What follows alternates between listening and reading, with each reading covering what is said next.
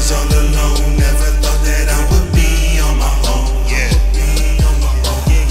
Always felt like I was all alone. Never Hey, what's up, that I would everybody? It's your be main on man, Rob. Dorsey here. I'm in my car right now, riding Florence. You know what I'm saying? A Honda, Honda Civic, only way to go. And I gotta get some uh, work done on it today. My uh, tires, they really need some love, some TLC, tender love and care.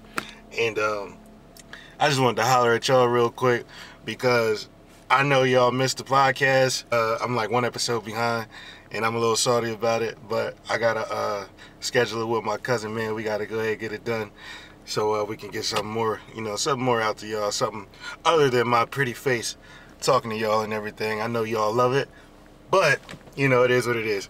So, like, share, comment, subscribe to the page on YouTube. Um, show me some love, man. Let me know what y'all want to see. Uh, give me some ideas, man. You know what I mean? Matter of fact, while I got y'all here, let me show you how this damn tire looks.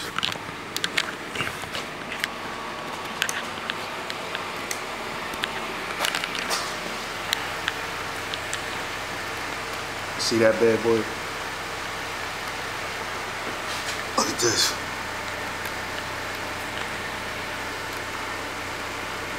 That just happened like last week.